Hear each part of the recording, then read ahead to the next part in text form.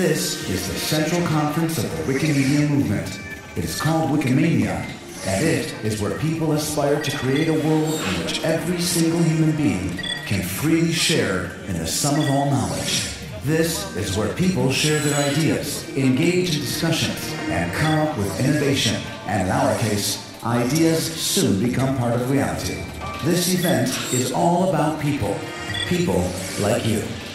This year, Wikimedia Israel is proud to host Wikimania in Haifa, one of Israel's largest cities. The Mediterranean gateway to the regions of Mount Carmel and the Galilee, where human history stretches deep into the past and technology centers show the path to the future. During the three days ahead of us, we are going to have more than 125 sessions in five simultaneous tracks and discuss the future of our projects and new initiatives all around the world. But it's not all about straining our brains. We're also here to get together and enjoy social events with people whom we don't often see face to face. So get ready to enjoy three fascinating days. And don't forget to tag your tweets and your uploads to Wikimedia Commons and Flickr with the Wikimania tags. Welcome to Haifa and enjoy Wikimania 2011.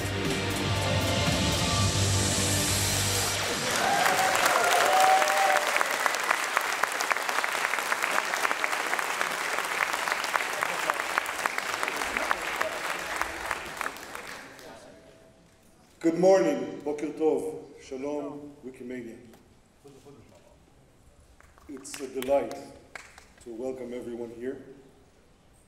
It's a delight to open the 2011 Wikimania meeting here at Haifa.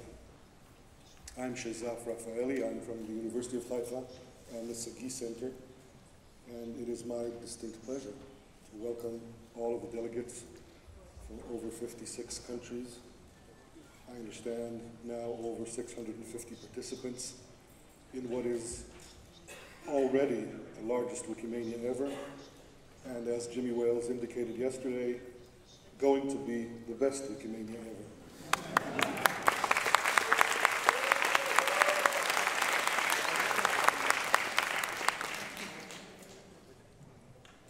It's a pleasure to uh, offer thanks and gratitude to the large number of institutions and individuals who put together the work and the determination and the commitment to make this conference possible. First and foremost, of course, the Wikimedia Foundation and the Wikimedia movement, whose values are represented in this conference and may be elevated yet one more step in this year when we're celebrating 10 years for Wikipedia. So thank you to the foundation and its activists and to the movement and its members. It's a pleasure to thank the municipality of Haifa for hosting this event and making it possible. Uh, the contributions of the municipality are numerous and they're evident all around in this very well organized and uh, the hospitality is well appreciated. I would like to thank the Foreign Ministry of uh, Israel for their contribution and support. I'd like to acknowledge the assistance of the Israel Internet Association. Uh, the notebooks uh, that they handed out this morning I hope will be filled out with written stuff that will eventually become digital. It's interesting that the Internet Association is handing out dead wood. Acknowledging Answers.com, uh, major sponsor of this event, and Ask.com. want to thank Tiltan College uh, for making the uh, party last night as pleasurable as it was, great atmosphere. I wish to acknowledge the assistance from the Jerusalem Development Corporation, Babylon, the University of Haifa that provided uh, assistance in a variety of sorts. I wish to uh, uh, say a few uh, words for uh, Benny Moran Media Productions, uh, who are doing all the background work to make this tick on time. Benny made sure that I have an accurate watch, not just that I look at the watch, but I actually follow the time, so thank you, Benny. Uh, I'd like to thank my own center, the Sagi Center, for assistance in uh, putting this conference together. But most importantly, I'd like to acknowledge Wikimedia Israel and its volunteers for the long, arduous, devoted work put into place to make this conference happen, to make it tick as it is ticking, to make it as interesting and enlightening as it already is and promises still to be.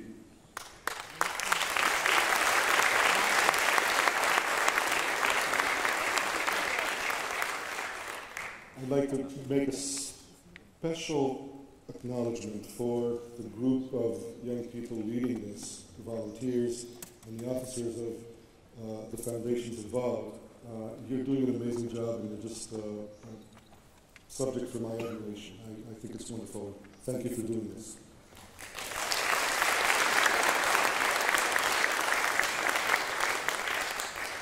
Must mention the visitors from abroad again. It's wonderful to see this international audience. It's this international audience coming together under the spirit of the values of cooperation, free information, universal access that are at the center of Wikipedia. It's wonderful to see this international audience getting together, getting along, working together, creating together, and actually not just enjoying, but leaving some valuable cultural information, intellectual assets for people who will come after us. It is not often that in conferences like this, and I participate in many such conferences, it's not often that in conferences like this that one can be assured that it's not just the energy that is generated when people are here. It is that there will be a legacy left over by this event and these people and the efforts and volunteering involved a legacy that will be enjoyed by many, many others who are not fortunate enough to attend. It's my pleasure and honor to invite, open this conference, to invite uh, Tomer Ashur, who is the chairman of Wikimedia Israel and one of the small group of dedicated, very talented, and extremely admirable people who put this conference together. Tomer, I'd like to invite you to address the conference.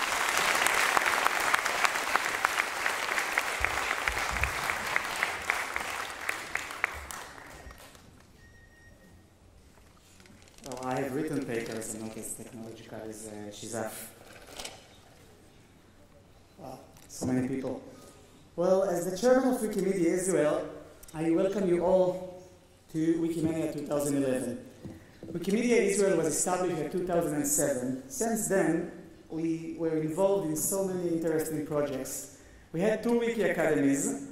We, we lobbied for the, copyright, for the new Copyright Act, and we are now working on releasing all governmental created mm, content to be released in a public license.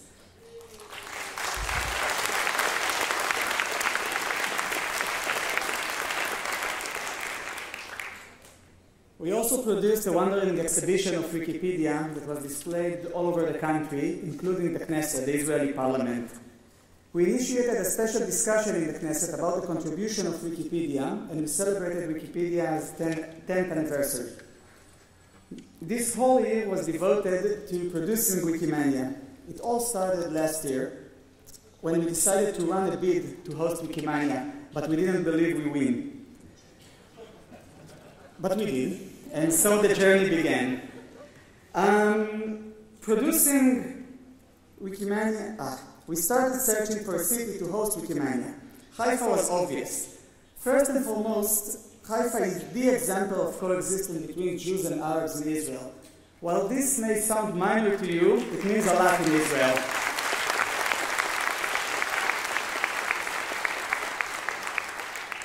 Also, for a conference about spreading knowledge, Haifa is excellent. Um, you see, we have only seven universities in Israel, two of which are located in Haifa.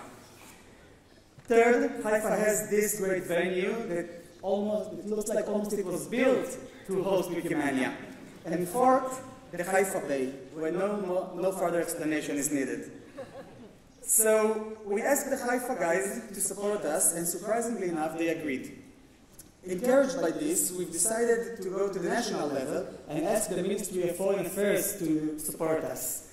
They also decided to, to support, and we got the personal letter from the Minister of Foreign Affairs. So we won.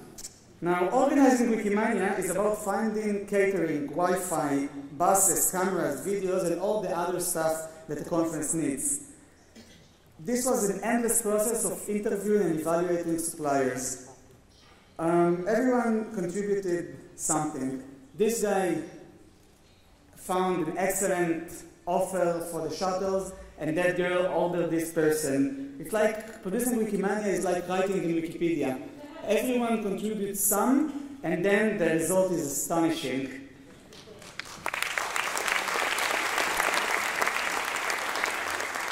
The volunteers did it all. There are over 650 people in this room. You came from 56 countries. This con conference is about knowledge, about free knowledge. We are offering you 125 presentations in five parallel tracks. The conference is about inspiration, to inspire others and be inspired. We hope that you will take the most out of it. On behalf of Wikimedia Israel, I welcome you to Wikimania 2011. Enjoy.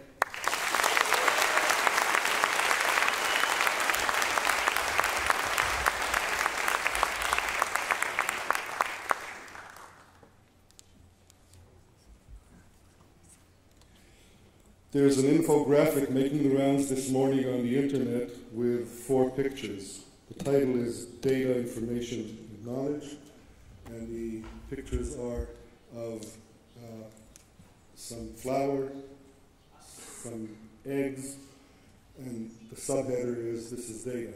Another picture of a recently baked cake, and the title is This is Information. And at the bottom, there's a plate that is empty with only a few crumbs left and the title is Knowledge. The uh, implication, I think, is uh, it's not enough to have data, it's not enough to have information, we need to have knowledge, it's not enough just to have a good search engine, we need to have put into place the systems that not only allow us to find things, but also allow, allow us to use them, put them to good use. I've been asked to make two technical announcements, and they're both not just technical, they actually have some value behind them. One announcement is to repeat that the hashtag for this conference, the hashtag we'd like to encourage everyone to use, is pound sign Wikimedia. Please use them on your various uh, social networks and so forth. Pound sign Wikimania, sorry, pound sign Wikimania. Please be encouraged to use them on, on the various uh, social networks uh, so that we can even further enhance the spirit of community and collaboration. Now that I've encouraged, you to use this, uh, I can make the second announcement, that is that there is no internet in this hall. Uh, for, but, this, but, but this is uh, an intentional choice on the part of the organizers to get everybody's attention focused, at least for the next few minutes, until I finish speaking, and then the internet will come back on.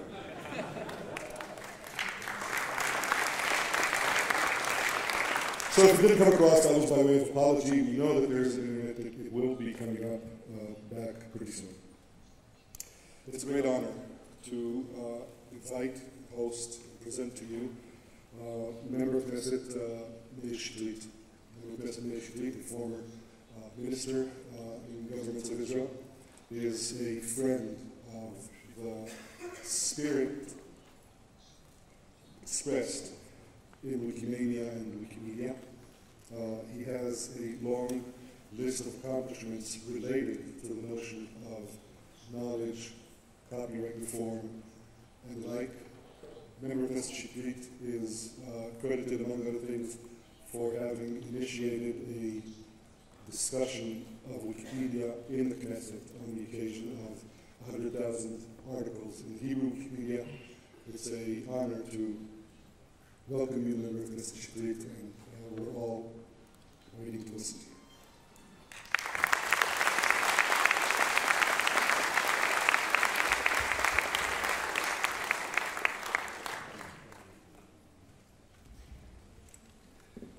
Good morning to you all and welcome to Israel. I would like first to congratulate the Wikimania uh, people and groups came from all over the world. Welcome to Israel. Welcome to Haifa. Haifa is a beautiful place, just one of the beautiful places in Israel. And I'm glad to be here with you today. I'm uh, like as well to say that when I was a little boy, it was many years ago, my dream was to buy an encyclopedia. And I had a fight with my parents that I demanded for them to buy for me And an encyclopedia. The prices was high, the income was very low, it was very difficult to have an encyclopedia, which cost a lot of money. After years of uh, fighting, at that time, remember we didn't have any television in Israel. There were not many possibilities of entertainment. So I was from one of those boys and girls who was reading. It's the main entertainment. And the last they bought for me, and kind of encyclopedia at that time they called the young technician.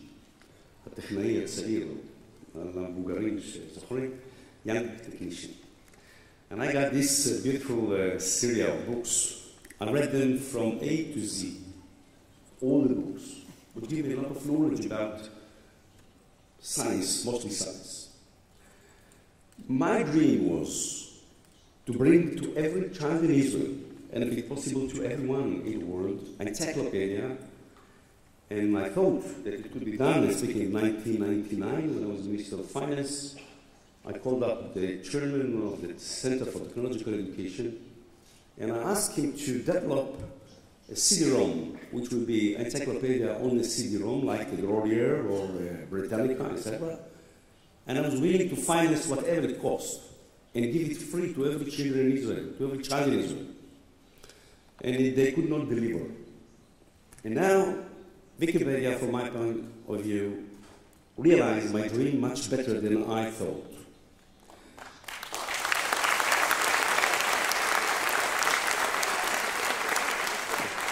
I think one has to understand the big contribution of Wikipedia to the world. Many, many children in the world, and also in Israel. The parents have the ability to buy for them books, or to give them encyclopedia, or to give them possibilities to study on the right way. Wikipedia created this opportunity for all the world that people can come get into the through the web to the Wikipedia and learn about every subject they want to. It's open to everyone, and the beautiful thing about it, it is updated all the time, which is not correct for an encyclopedia. Usually, who remembers those who have the old encyclopedias like Britannica? They have to publish every year a new book for updating what happens during the last year. Now, in Wikipedia, it is updated all the time.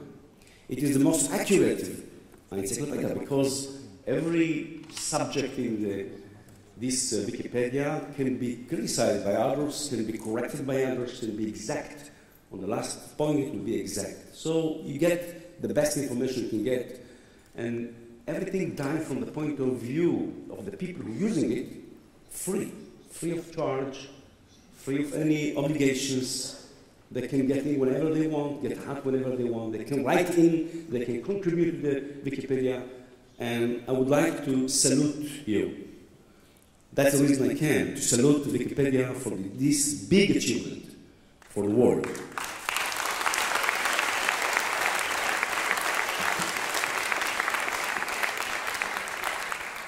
You know, in order to use Wikipedia in the best way, we need a big, uh, we need a very good role and I'm sorry to say that in Israel, even we are considered to be a superpower of internet, superpower of high tech, still Israel is struggling with the problems that we have in this area. I think that our infrastructure is not good enough. It's like we have people who have a Formula cars, but they have no roads to drive on. We have to improve very seriously the infrastructure of the internet in order to really to let the people surf with the speed of 100 megabyte compared to the average of between 2.5 to 4 megabytes in Israel, which is very bad when we're speaking about download. I'm not speaking about upload, which is much, much more slow. So we have to develop this kind of infrastructure. We're working in it. I'm fighting in Knesset and government in order to really make a big progress about it, in order to create different big road which will be open, give the possibility to people to surf fast, immediately get into the internet. Secondly, we have to lower, lower the prices that people are using the internet. Just uh, this week I was uh, uh, marking in Knesset the fact that uh, when I compare the price that Israeli pay for the, those services like internet, cable TV, and telephone together, triple case, between France, for example, Israel, find out that in France, people are paying for 100 megabyte internet speed, 450 television channels, no limitation of telephone calls from home, 30 euros a month. Israelis, they pay in the lowest company, which suggests the triple, three times more. And that one, five times more. That's totally unjustified, and it's happening because the government is not open enough really to create inside a very good competition give possibilities to those who want to lower those prices because it is important. And for example, the main fact was that when new people want to come to this area, they put instead of the in front of them a lot of obstacles that they have to put a lot of money as guarantees. I would give them the guarantees a present if they were willing to make those prices in Israel. That's what we need to do, because we have to give it to make these possibilities to every child in Israel to use it. It has a lot of influence about the future of those children, because today internet can use for a lot of, not only for Wikipedia, you can learn from long ago, you can have the best lecturer all over on every subject you want through the internet if you have the facilities to do it. So there is a long, long work before of us. Another thing that I try to promote is really the possibility to give up the IP of the government about all the documents which are not secret and about pictures of the government, which is stupid in my opinion, not legal.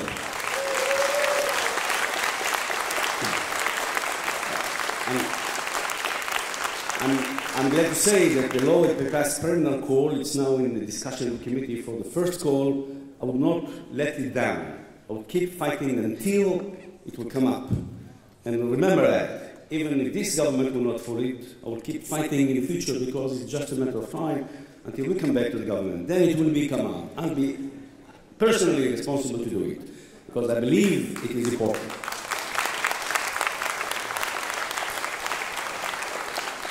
And I would like to say thanks to uh, Mr. Wales, Mr. Sue Gardner, and the chairman of the Israeli Wikipedia, Mr. Tomer Ashur, for the good opportunity to giving for us in Israel to see these beautiful people which come from all over the world. I wish you the best in the future. Thank you.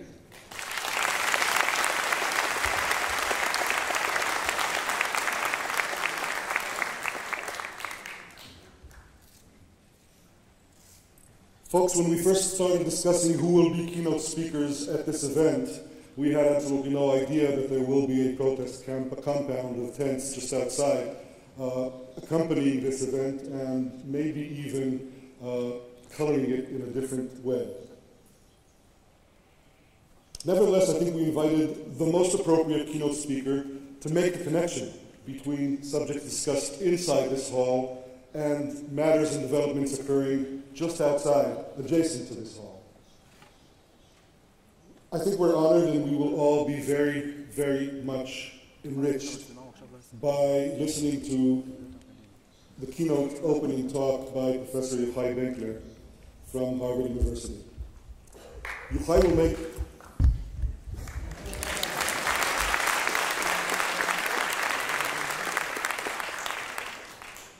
Yochai will make, so I am assured, the connections between what we all think about, care about, and invest in, all the way to this morning's headlines.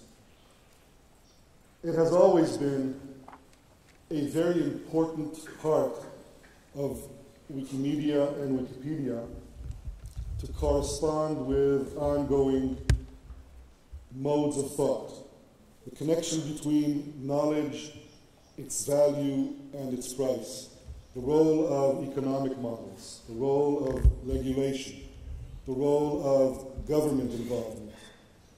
All of these have always played an important role and helped shape the values of neutral point of view and good faith and the like.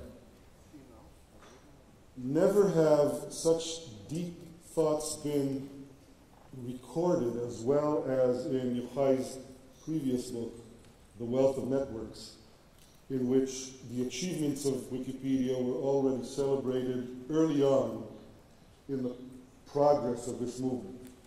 Yochai is uh, going to see the publication of his next book. What is it? Next week? Next week. And in some ways, his next book is a second round and I would hope statement of triumph of some of the values that we all hold. Uh, I'm not going to steal his message, but I am going to say that uh, what is it coming up uh, next year, the date where your famous bet with Nicholas Carr will uh, finally come to uh, fruition. Uh, so maybe this can be the first celebration of Yochai's unambiguous victory in that bet. And it's a, a delight on my part to have Yochai and have an opportunity to have a sneak peek to his current thinking. Those of you who haven't seen it, there's a special issue of Harvard Business Review where some of this stuff is written down for those of us who prefer writing.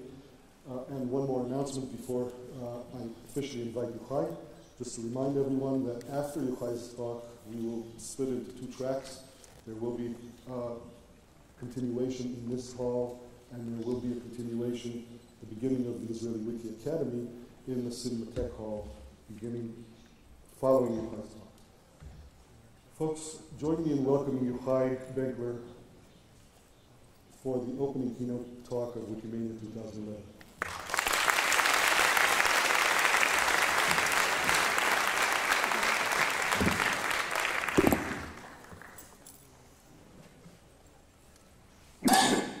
Sorry, it's um, uh, it's extremely exciting and a real privilege to be able to come and talk uh, here uh, at Wikimania 2011 uh, in Haifa um, to this um, incredibly exciting and large um, meeting of uh, some of the people who I think really give the world an inspiration about what is possible for human beings to do together. Um, we're meeting, as, as Sheizaf said, uh, right outside, uh, people are standing, sitting in tents, trying to claw back a sense of what a decent society and what a decent community can be within a market system, beyond simply maximizing the returns to capital. We're sitting barely a few hundred kilometers southeast of where braving enormous threats, Syrians are going out and asking for their dignity to be recognized, for their humanity to be recognized, against overwhelming threats that I think very few, if any of us, can really imagine what they might be like. And perhaps it's cheapening that effort to connect it to you, to us, to what we do, but I don't think it's disconnected. I think the Arab Spring that brings forth this effort. I think the movement uh, outside brings together not only we focus on Facebook or Twitter or how people connect to each other uh, technically to get together, but not that. It's the understanding of the capacity to work together to overcome structures of a hierarchy, structures of markets that necessarily reduce us to supply and demand curves, to say we can share in our common humanity to do something together, be it create a body of knowledge for the world or create our own democracies. And that's really very much of what's been uh, uh, uh, my focus in the last few years. When I first uh, wrote about uh, Wikipedia, it was, it was exactly 10 years ago. It was in the summer of 2001 Wikipedia, as you can imagine, had about 2,000 uh, uh, articles. Um, and I was responding to a moment in uh, the intellectual debate, particularly in economics, uh, uh, in uh, the United States in particular, that had, was trying to understand what the story was with open source software, with free software that had just really come into people's field of vision a couple of years earlier. And the basic answer was there's this weird tribe of people, they're called hackers. They're really weird. Don't pay attention to them. Uh, or there's this really bizarre thing called software. It's so quirky, people produce it in a way that no one ever could. but ignore all of that because we know what the real uh, model is, and that's a market for people who respond to incentives, go after prices, and produce things at a quality. Thing that really happens is you get more efficient markets from the net. And what I wrote in that piece in Coase's Penguin uh, 10 years ago was no, actually, free software is just the beginning. What we're seeing instead is a massive decentralization and creation of a new modality of production online. And I'll speak for the first five to seven minutes uh, about that moment, um, where people actually can come together and create together in a third modality of production alongside markets and the state. And where I am today is trying to understand essentially is it just about what we can do on the net? A lot of the first half of this de- past decade was is this real?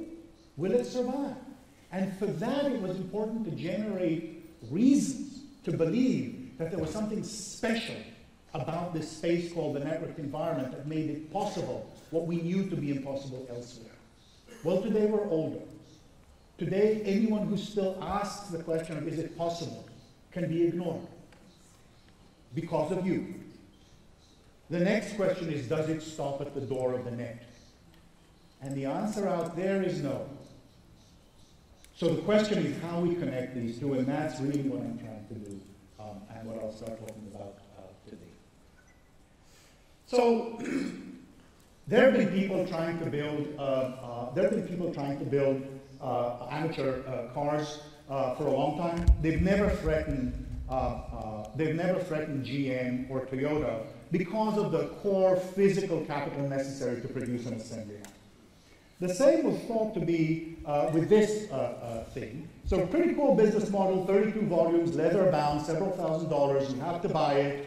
Um, and the revolution, two of the greatest information economists of the 1990s, um, wrote this book, Information Rules, and in their second chapter they said, here's, if you want to understand what the future of the net is, look at Encarta. It is going to change everything. Because that's the new model. You see, 3995 in 2000, that's going to change. It's going to be integrated with the operating system. It's about network effects. It's about richness and interactivity. And in fact, lo and behold, uh, in 1998, Britannica has only $500 in 12 volumes. And several years later, Shane Shane's by cheapsoftware.com, uh, $29.95. But of course, that framework was simply unable to understand that which everyone sees their own vision in. You, Wikipedia. Because it was impossible. It was impossible. And yet, it moves. And as it moves, it changes everything for all of us. What I came to learn as I thought about these things, what I think many of us today understand. And this was the core when I spoke at, uh, five years ago at Wikimania in Cambridge. Um, uh, this was what I focused on. This was the message that we learned that was special about the net, and I think is still true about the net, but is not enough, as I'll, as I'll uh, say when I'm, uh, uh, by the time I'm done. The most important input into the core economic uh, uh, activities of the most advanced economies are widely distributed in the population. Both material, computation, communication, storage, sensing, uh, uh capture, and human insight, experience, uh, creativity, perspective, presence, as well as the social capabilities able to put, get us together and develop processes. Essentially what happens is that the same behaviors that we've always had as human beings, but have been peripheral to the economy, as human beings in society, social motivations, cooperation, friendship, etc., moved from being important to who we are as social beings, but peripheral to who we are in organized society, in the market, in the state, to becoming an increasingly important part of who we are in the market, in the state, in the production system, not the market uh, and the state. Essentially, if you think along dimensions of centralized versus decentralized and market-based versus non-market-based, we can think of four major transactional systems or frameworks. The price system, firms, governments, and organized nonprofits, and families, friends, localized efforts in the social economy. And essentially, throughout the industrialized period, because of the high cost of capital, the bottom is what was occupied. Centralized capacity to raise enough capital to be effective, like that GM plant, um, and, uh, uh, uh, and the rest was more on the periphery. Essentially, what we've seen in the last decade, decade plus, as the legitimacy of decentralized network production rises, we see all three quadrants moving to accept the rise of network-based social sharing and exchange, both on its own two feet, like Wikipedia, and in processes with all of the others as it stops being a puzzle and starts becoming a solution space. So if you think of uh, classic things like Wikipedia or like uh, GNU Linux or like PHP or, or, whatever it is that you want to see up in the quadrant of social network uh, uh um, uh, of network social organization, we see that. But we also see its integration into the other systems. We see efforts like Citizens Connect, like Transparency in the Sunlight Foundation, to actually um, combine networked social motivation with the nonprofit or the government and participation in government. We see some big firms trying to connect to free and open source software, the classic example and the most integrated ones. We see smaller firms essentially leveraging the creative or insight or opinions of people all around uh, the world into what are new uh, uh, entrepreneurial models that then eventually obviously grow and move to the bottom quadrant uh, of centralized firms. But the critical point at this point that I want to make is that networked social production, peer production, has moved from being a puzzle that can be ignored to being a central part of the solution space for whole classes of problems. And obviously, it doesn't happen only at one level. It's not only about knowledge. And you see integration of multiple layers of, of recursive cooperation generating solutions. If you look at Ushahidi, for example, what do you have? You have a Kenyan blogger putting on a, a, a request, look, we have violence here. Let's find a utility that actually allows us to identify. Then you've got uh, expats, Kenyan expats in the US developing things. Somebody else checking in and saying, actually, you have to make it focused on mobile phones because that's the only internet connectivity or only real connectivity there is. And within less than a week, you have a model that's free software, up and running, integrating at that software layer all the contributions of creativity. On top of it, um, uh, uh, a model of reporting on violence that's about everybody observing and then connecting, matching it up with maps that again give real-time information. and what moves from an ad hoc solution to the Kenyan violence through the fact that it is open, available for creativity and modeled on distributed cooperation becomes the foundation of what is in many senses the future of disaster response or immediate disaster response everywhere. Whether it's fires in Russia that the authorities don't look after, or whether it's snowstorms in Washington, D.C., where residents are trying to basically say, here, this street is blocked. They're using this Kenyan development system, developed system because of its recursive use of cooperation from the technical layer to generating the information to then distributing it, all free and freely shared on a model that is truly global. That's the power, and it's become now the solution space. The other thing that happened is in 2006, I put this slide up and said, here's the moment at which mainstream media suddenly understand that to capture what is going on in the world, you can't believe that you'll just add money and more reporters on the ground because we all have these capture devices with us. And the only images from the London Underground bombing were of people in the, in the subway. And then BBC, to their credit, took it and introduced it as a central part of their production.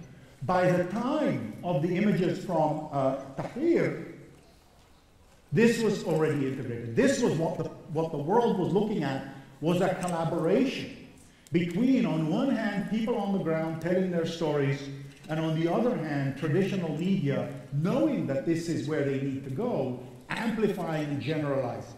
And this interplay, people talk about the Facebook revolution, but the interplay between the role that Facebook on one hand played for people, and on the other hand, Al Jazeera played for generalizing into the Arab world, is the thing that we need to start to understand and learn. How this thing that was a unique nature preserve becomes integrated as a third modality of production together with market organizations that are beginning to open up, together with governments that are trying to uh, open up, creating new models of both governance and production that enable not a perfect world, but a substantially more open framework to allow people to actually participate in generating their knowledge.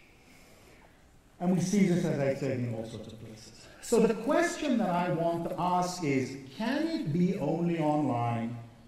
And how can we systemize the design of cooperative systems?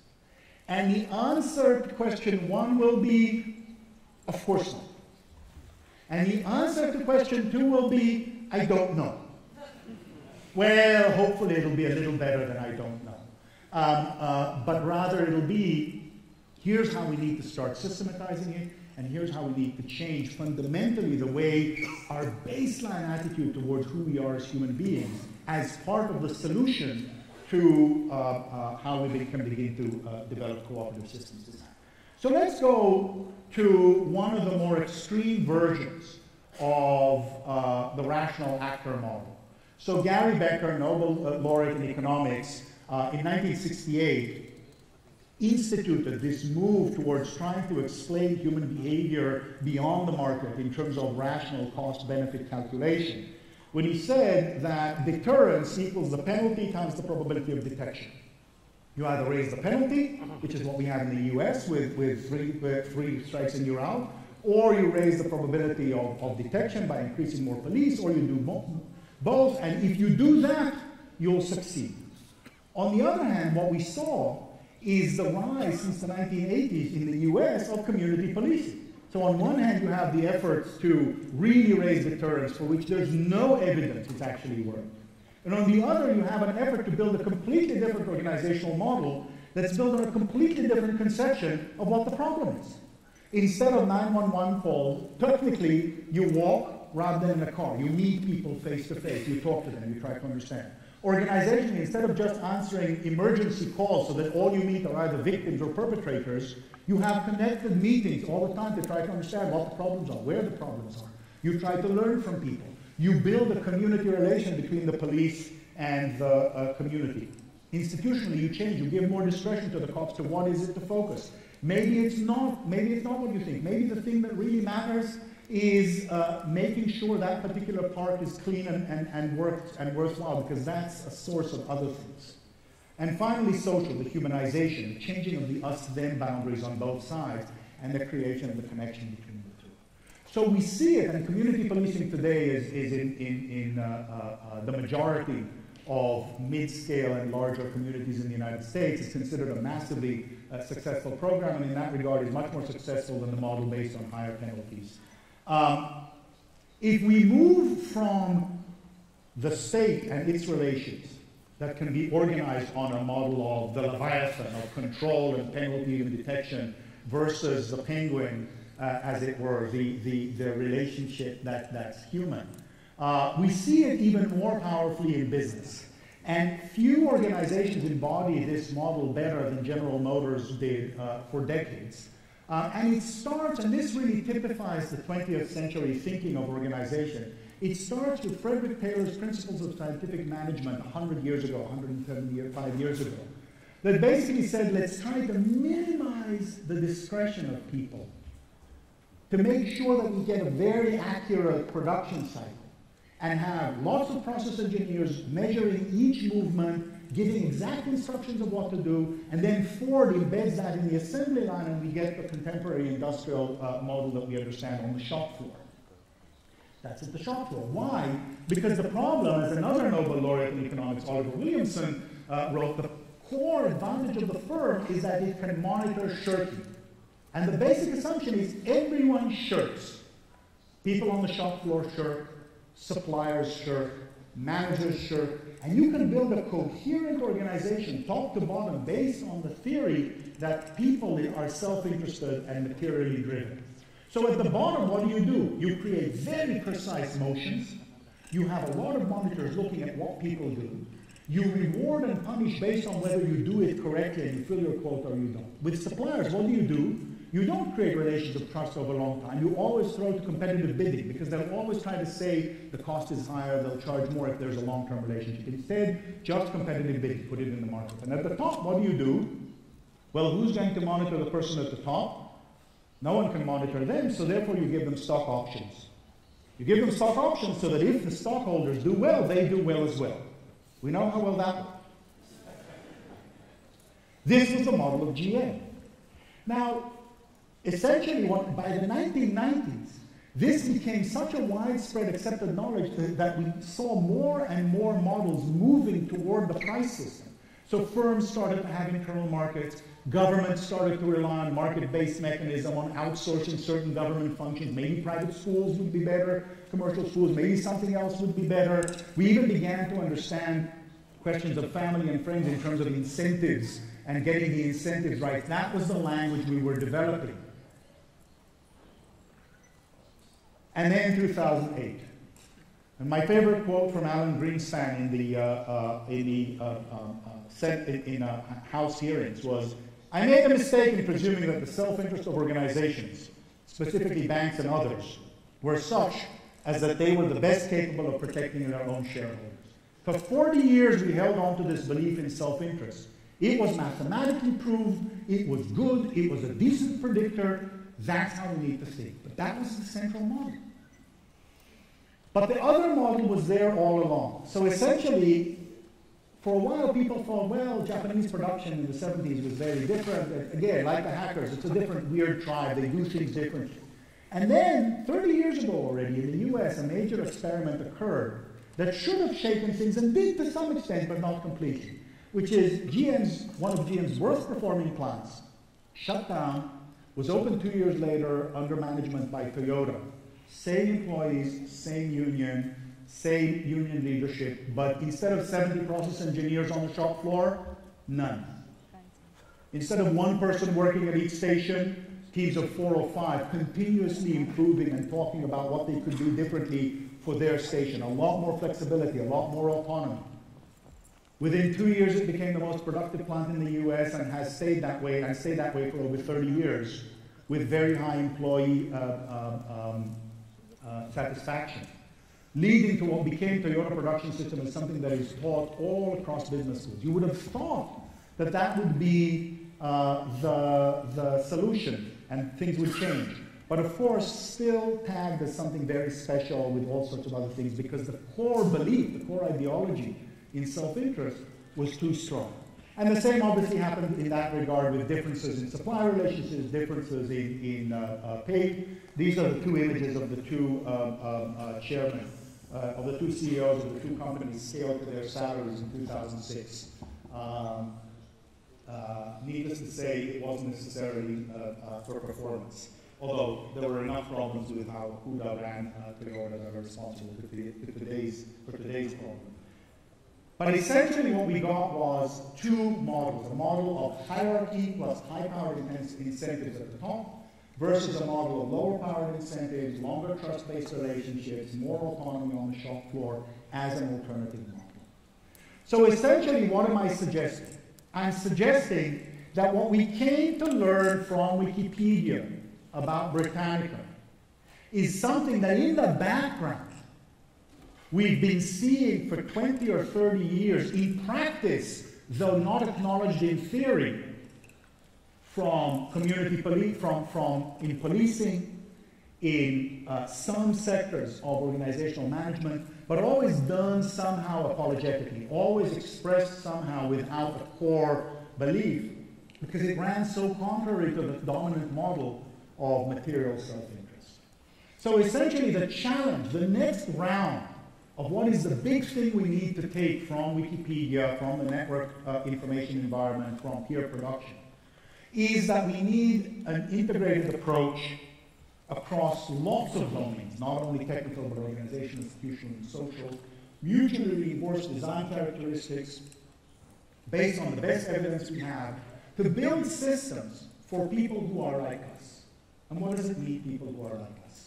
Well, here what we have is an intellectual arc in many, many uh, uh, uh, areas of, of study that moves from a period of late 50s through late 80s of refining and perfecting self-interest as the model to over the last 15, 10 to 15 years, a re-emergence of cooperation. We see it in evolutionary biology, we see it even in economics, we certainly see it in political theory from, from Downs and Olson and Hardin in the 1950s and 60s talking about just maximizing self-interest through the political system. Uh, in management science and organizational sociology, we already talked about. One way of capturing this change is to compare these two quotes uh, from uh, leading biologists. One in 1976, Richard Dawkins' The Selfish Gene. Be warned that if you wish, as I do, to build a society in which individuals cooperate generously and unselfishly towards a common good, you can expect little help from biological nature. Let us try to teach generosity and altruism because we are born selfish. Let us understand what our own selfish genes are up to because we may then at least have the chance to upset their designs, something which no other species has ever inspired to do. He wants us to be altruistic and cooperative, but he believes that we are not and that we need to resist it. 30 years later, Martin Nowak writes in, in Science perhaps the most remarkable aspect of evolution is its ability to generate cooperation in a competitive world. Thus, we might add natural cooperation as a third fundamental principle of evolution beside mutation and natural selection. That's a shift in the discipline. Not because Dawkins didn't know what he was talking about. So this particular line may be a little unfair to draw out because it's not that he didn't know that there was already in evolution a lot about sharing, but most of the sharing and cooperation was explained purely in terms of reciprocity, particularly direct reciprocity. You scratch my neck, I scratch yours. Tit for tat. That was the state of the discipline. You could explain all cooperation just in terms of the direct material payoff. Um, but this change essentially replicates this uh, classic argument in evolutionary biology between Herbert Spencer, who, who uh, uh, characterized social Darwinism and the term of survival of the fittest, as a justification for laissez faire capitalism. Right? As secular ways of looking at the world replace the dominance of religion, we went to science to seek insight about who we really are. And the most important response to social Darwinism academically was actually the development of anthropology. So Franz Boas, Margaret Mead, uh, people who pushed against nature and talked about nurture and talked about culture. But even within biology, Kropotkin, in, uh, uh, in mutual aid, uses evolutionary biology to say, no, actually we see mutual cooperation. So we see 100 years ago this clash between two views of evolution. We see the ultimate dominance of the selfish view and now the reemergence of a cooperative view. But that's not going to lead us to actually know how to build systems. What it does do, and it gets replicated now in all sorts of studies. So you see studies, um, uh, uh, MRI images of empathy. So this is a study basically showing, uh, uh, uh by Tania Singer and others, uh, basically showing that when you take a couple and you shock one of them with a, a mild shock, their brain lights up in one way, and then when you shock their partner, their brain lights up in almost the same way, except for a particular portion that actually processes the pain.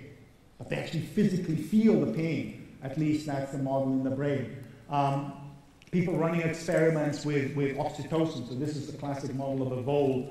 Uh, uh, and there are monogamous voles that have long-term relationships and polygamous voles that don't and there are big differences in their oxytocin uptake. So people are talking about the role of particular neurochemicals in generating uh, uh, uh, a sense of trust and trust uh, and trustworthiness. What you see throughout all of these studies is an increasing range of evidence that, first of all, in some sense, challenges this whole altruism selfishness. Does it, are we really altruistic if we get a kick out of cooperating with others? The answer is who cares? It's who we are.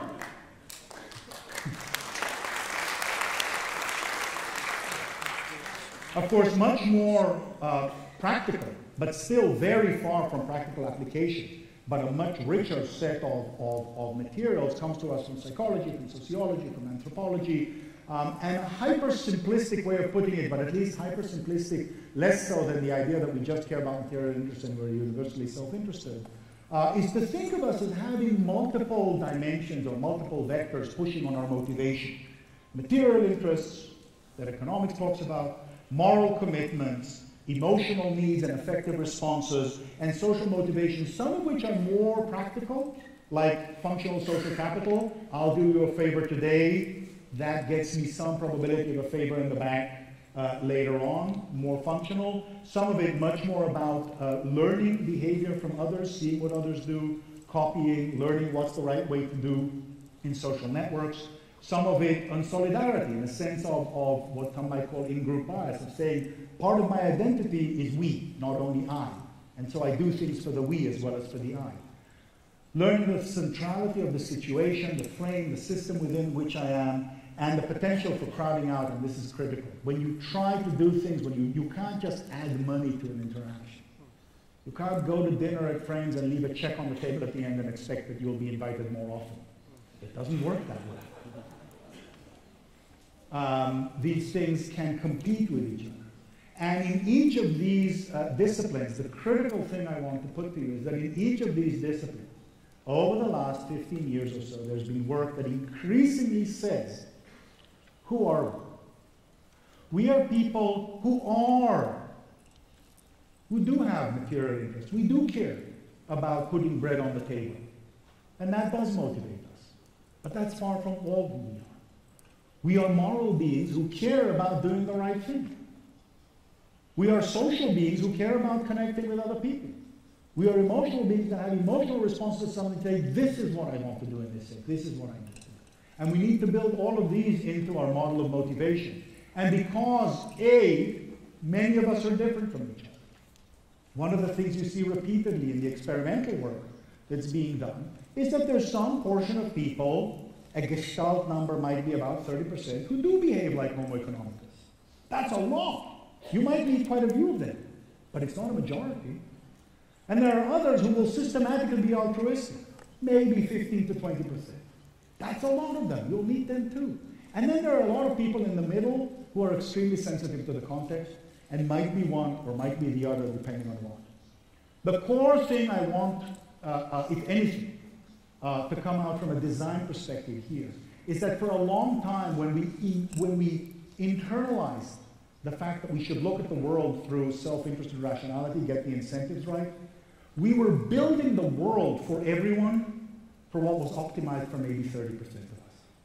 At the expense, and this is the critical point, of denying the self-motivated possibilities from 70% of us. So how many people told you that this was crazy and would never work. Can you count them? You can't count them. 30% was Jimmy's answer. you win. But in so many ways. Um, impossible. And yet it moves. So, what we need to do? Um, what we need to do is um, uh, understand two things. Let me actually just put these up. What we need to do is two major things. We, as people who talk about how we should know ourselves and the world. The first is concept, conceptual.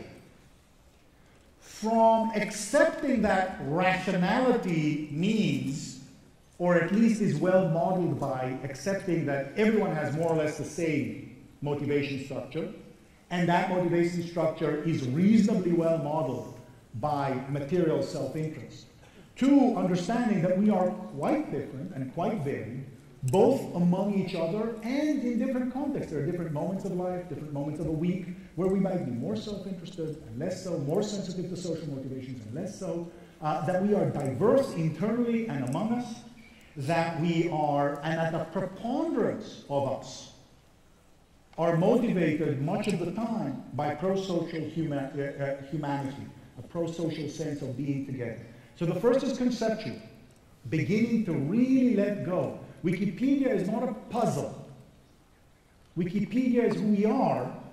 The puzzle is why we allowed ourselves to build for so long systems that depended either on hierarchical monitoring or on markets, and instead of rejecting them as insufficient to occupy all of who we are, embracing them as refined, rational, scientific ways of designing systems for who we are.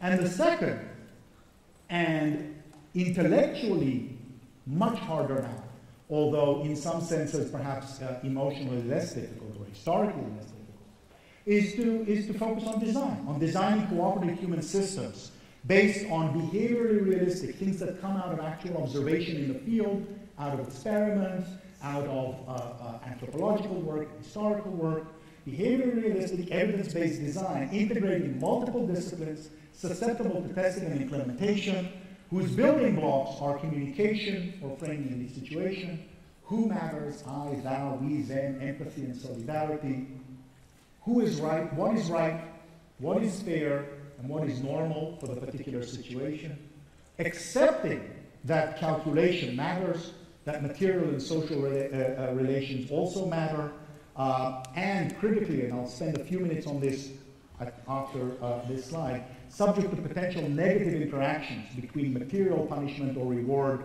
and social relation motivations, and a variety of other social, uh, uh, social dynamics uh, that we all know are critical and we need to learn more about trust, transparency, reputation, social networks, leadership, asymmetric contribution, the fact that it's not free riding when some people contribute a lot and some people contribute less. It's the way a system works if it's going to work because some people are more motivated on this dimension. There's a different role that you play. I don't need to tell you, I, I, uh, Jimmy was saying yesterday, the one place that he stands up and he knows that everybody in the room knows more about Wikipedia than he does. Uh, I certainly will stand here in this room and accept and embrace uh, uh, that fact. Um, um, but all of these things need to be integrated into how we build the future so that we're not doing hit or miss. That we be begin to connect our design interventions with the basic science of human motivation. Critical to uh, understanding the importance of uh, designing based on our understandings of social and, and, and moral motivations is understanding that you can't just add money. Uh, because if that's not true, then in principle the economists are still happy. Everything else is a mess, just add money and you'll increase and decrease motivation. The roots of this debate are very old um, uh, and classic in, in, in the Titmuss-Arrow debates of 70-71. Richard Titmuss wrote a book about blood donations. The UK system was all volunteer. The US systems were primarily paid. UK systems had fewer uh, uh, failures in supply and fewer contaminations. US had more. And Titmuss wrote that that was because essentially good donors were being driven out by the monetary incentives in the US system and um, and uh, uh, bad donors were being brought in. Kenneth Arrow, major economist, Nobel laureate, said, no, no, no, you're getting it wrong. Maybe the money is drawing in bad guys, but the motivations of the people who want to donate are completely independent. They've got nothing to do with it. And since then, we've had decades of experiments which the major meta-analyses suggest say the evidence is on Titmuss's side, not on Arrow's side. What might be the mechanism? So if you remember what I talked about with regard to the various vectors, if you just think of them as, as directed forces pushing us towards certain action. If you imagine the standard debate, basically it says material interests will go to give uh, blood, moral commitments maybe go to give blood, but social connections and signals, if people are paid, why am I doing this really do people think that I'm doing this for purpose of being a good person? Do I signal to myself that I'm a good person by doing this? Not really, because there's a market for it. So that essentially, if you take away the material interest, you lose the drive to give blood, but you gain much stronger a sense that it's the right thing to do, much stronger of a sense that it's socially the right thing to do, and, and much more of a sense of yourself, of the kind of person you are. I do certain things. That is what makes me virtuous. That is how I know that I am virtuous. That's the, uh, that's the affective model. Um, a nice study in 2008 actually tried to uh, uh, measure this specifically in blood. Most of the other studies were in other uh, things. Uh, done in Sweden, where the baseline is, is uh, voluntary donation.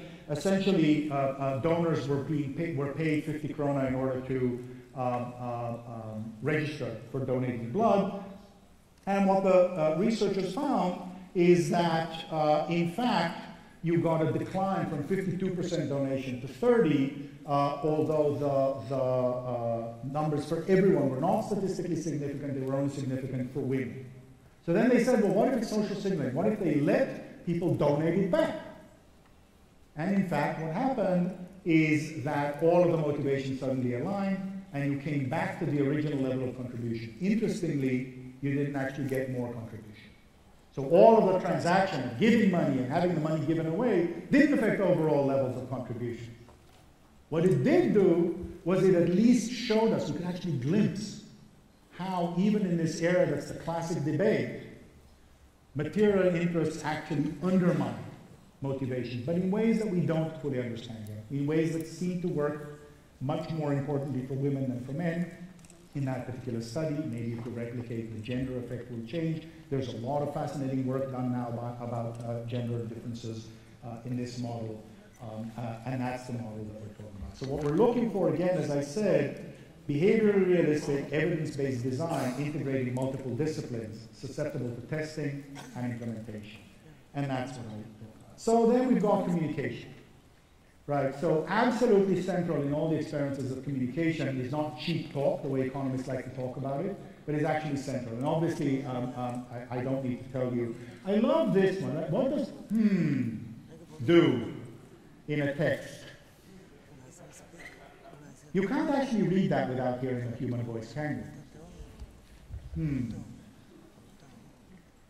There's a humanization that occurs before anything else in the act of communication. And through it, so much more as well. Communication is absolutely central. And as we're beginning to see more places trying to actually systematize social software and design for, co- uh, for cooperation, we begin to see, like, for example, uh, here in this uh, yeah, uh, uh, uh, how-to is talk like a person.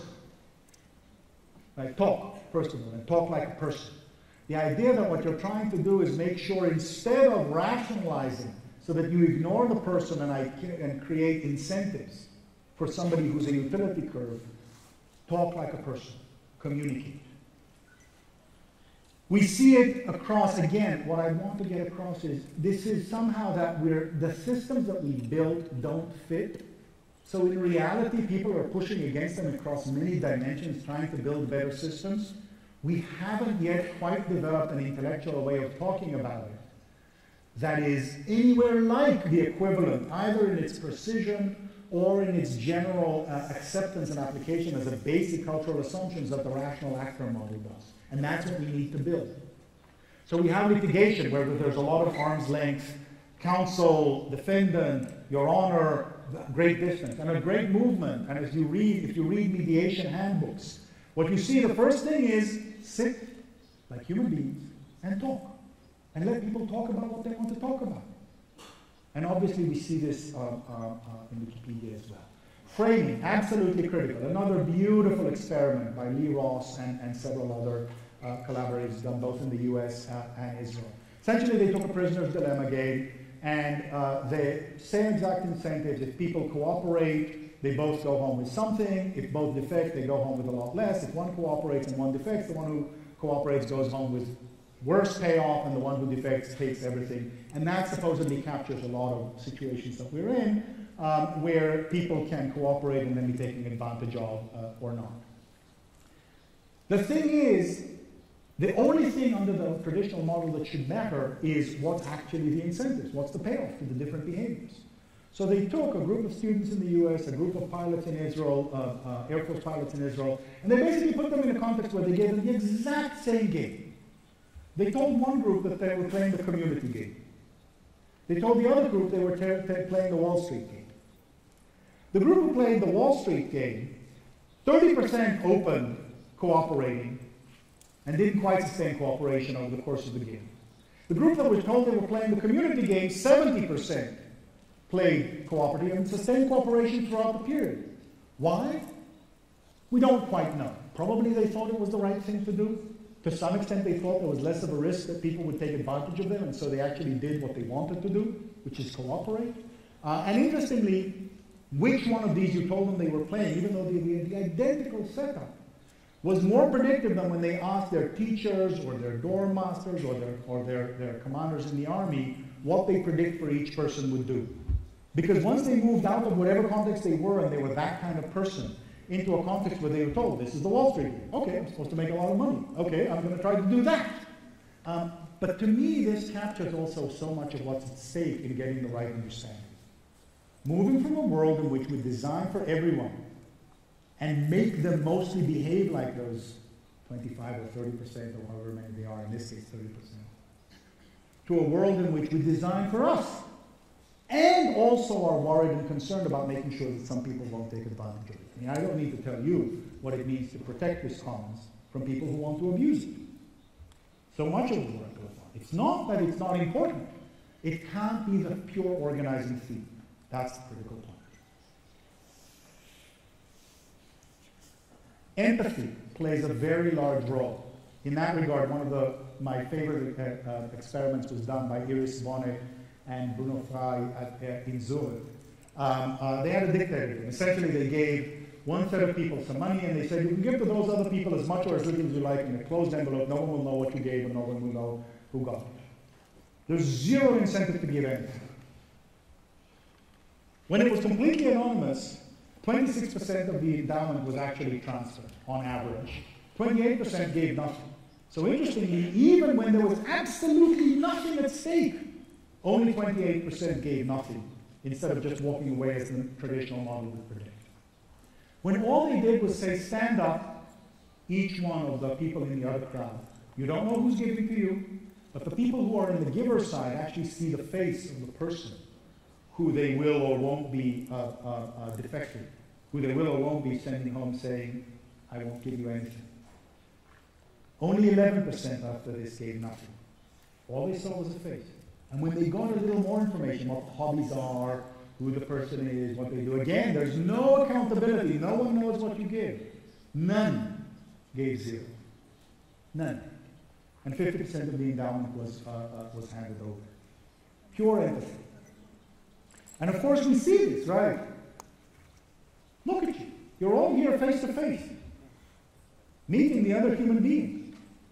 People fly for thousands of miles to meet face to face on a business transaction that has all the big contracts in the world around it. And yet there's the sense of the face to face communication, the sense of the common humanity that needs to be exchanged. With food sharing uh, wherever we do it. And obviously, again, I don't need to tell you, you need to teach me about how central uh, the sense of self is and knowing who the other person is. Then there's the question of group identity or solidarity. And that there's a lot of work going back since the 1970s, looking experimentally uh, at the role. There's work uh, uh, in, in economics, uh, Sam Bowles and Herb Gintis, in anthropology, uh, Rob Boyd and Steve Richardson. Um, some of it looking at evolution, some of it looking uh, in political science, essentially showing that people are incredibly connected with each other and actually work Uh, um, uh, and contribute more. So if you've got SETI at home, uh, the night you say neat used to be when this thing still ran separately, one of the groups that had particularly high contributions and developed their own sites. But like many other things, cooperate doesn't mean nice. Cooperate means non-selfish. Group solidarity is not necessarily always a good thing. It's very often in-group bias against the other. So none of these, my point is, cooperation doesn't always mean nice. Self-sacrifice can be the suicide bomber every bit as much as everything else. We need to be cautious. We need to channel all of these pro-social motivations toward things that we, as human beings, talking about how the world ought to be, um, uh, uh, can channel nationalism, for example, into uh, positive avenues uh, like uh, soccer. Um, people don't think that it's a positive avenue. um,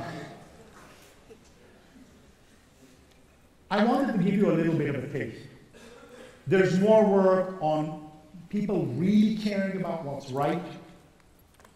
Again, I don't need to tell you about how important it's been. When, when I wrote in August of 2001, when I wrote the first draft of Coase's Penguin and sent it into Jamie Boyle's uh, uh, conference on the public domain, um, what I saw about Wikipedia was unique at the time, was that it was not a platform that was like a, a, that was designed for self-interested people. Slashdot, the other great major thing at the time that was clearly distributed, was built like a game design to make sure that nobody could game the system too much. Wikipedia was, we have a set of norms, we build around them. Now, since then, you've grown. A lot more institution has, has grown. These three days are full of studies about the complexities of what it means to translate from this simple core appeal to doing what's right, and here's the definition of what's right here, to actually managing it in such a large scale. It is an amazing experiment that you're running here, that nobody's run. But this core point that Wikipedia from the start was about norms, about doing what's right within this framework. And if you want to do something else, go elsewhere. And do it there, you're free to do that. Uh, has been absolutely central. Etc., etc., etc.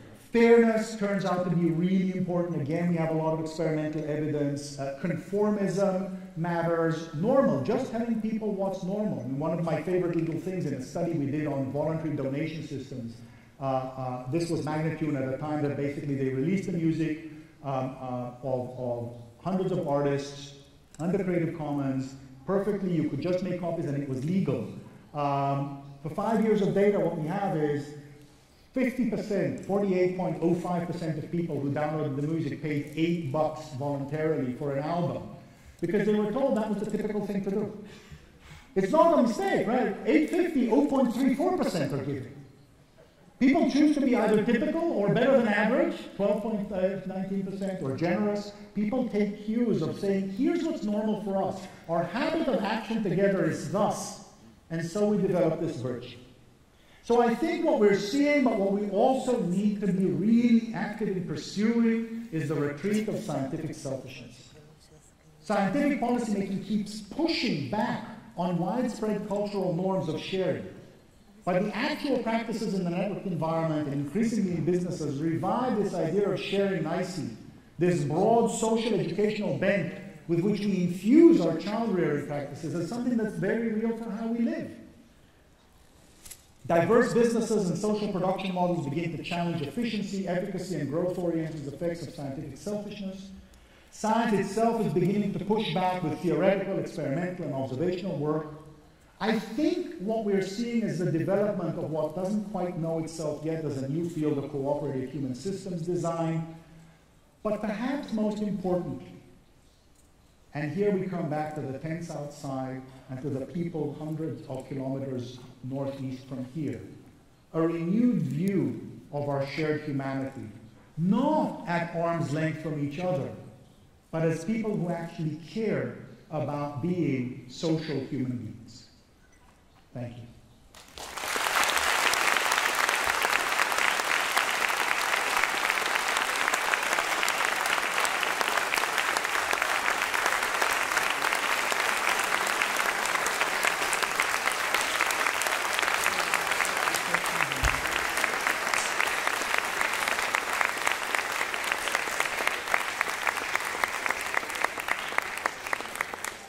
To you want to do in terms of, of questions or Sue, your your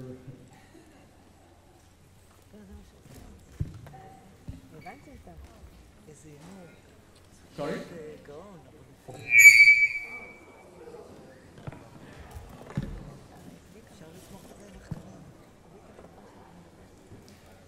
So those of us tweeting uh, away, uh, two points I take away.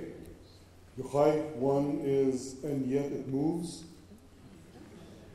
Maybe a challenge uh, for Jimmy's talk on Saturday, where he's going to, at least so promised, address the issue of will continue to move. And the other is the retreat of scientific selfishness. Uh, we were promised 125 talks, so it's one down and 124 to go. I'm sorry?